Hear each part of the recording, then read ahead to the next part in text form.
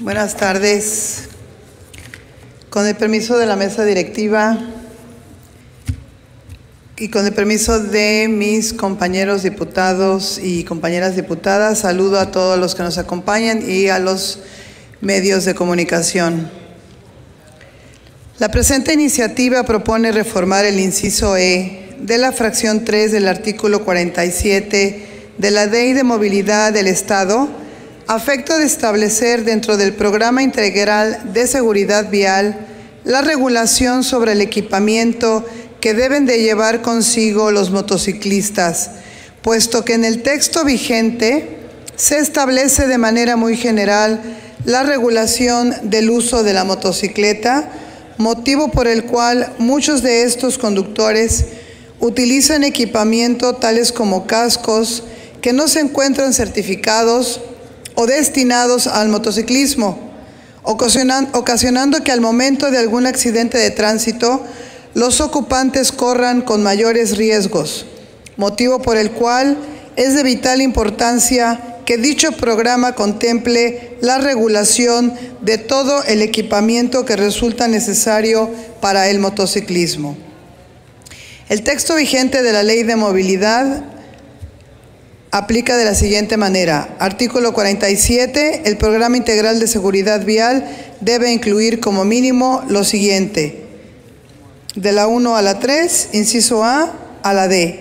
Inciso E, ordenamiento y regulación del uso de la motocicleta. Propuesta de reforma. Artículo 47. El Programa Integral de Seguridad Vial debe incluir como mínimo lo siguiente.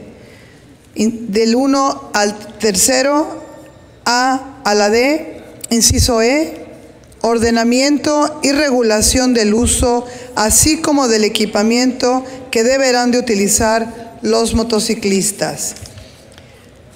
Es bien sabido que en el estado de Quintana Roo la motocicleta es uno de los eh, instrumentos de trabajo para muchos, es un medio de transporte para la mayoría de las familias, como la isla de Cozumel, como la isla de, eh, Isla Mujeres, en Solidaridad y gran parte de, de Benito Juárez, entre otros municipios. Tal vez esto sea un gasto extra que los motociclistas van a tener que derogar, pero definitivamente es para la seguridad misma del ciudadano, para sus familias y para todo el que esté eh, envuelto en un accidente automovilístico, incluyendo el sector salud.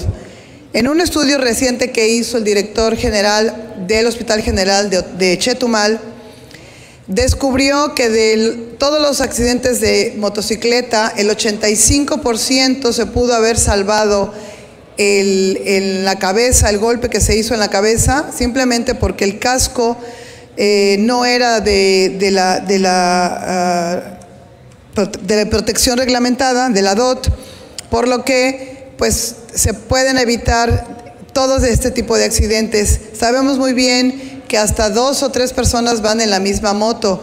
Aquí, a pesar de que se va a lo mejor hacer, el, como, como dije yo al principio, un gasto extra, definitivamente es para la seguridad del que esté utilizando este medio de transporte. Debe prevalecer el interés superior ante todo. ¿Es cuánto?